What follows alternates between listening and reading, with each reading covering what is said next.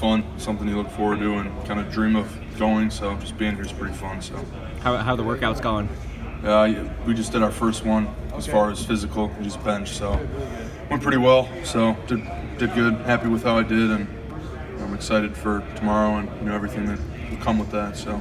In terms of your overall athleticism, everything that's going into it, how, how are you feeling? Pretty confident going into the into the draft here pretty Oh soon. yeah, I feel feel great, fully healthy, and you know been been on a good diet for the last couple months, and really just getting ready for this. So ready to show what I've been working on.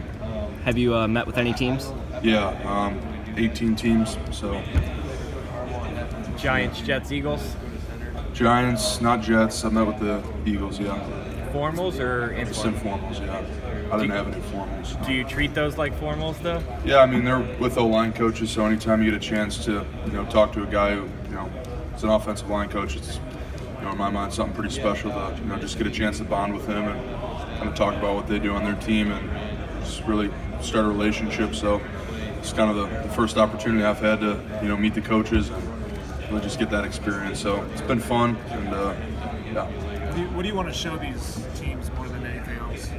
Yeah, um, just that you know I'm pretty athletic and uh, you know, I'm going to test well. You know, really, really just that you know that I belong here and prove that you know I can put up some good numbers and stuff like that. But yeah, that's, that's kind of it. And at the end of the day, I think it comes down to football, and you know that's what I'm kind of looking forward to. So It's been the most eye-opening part of this whole, you know, draft experience for you so far, kind of Um, I wouldn't say it's anything I didn't expect, but just just the amount of talent here. There are guys who you know you watch every Saturday, hear about every Saturday, and, and all the good guys you played. They're all here, so it's just pretty special to have all those guys in one spot. You just get a chance to bond with them and you know talk to those guys. So you know, really will probably be the last time you know we'll all be in one area together. And it's just special to be around a lot of good guys and hang out with them.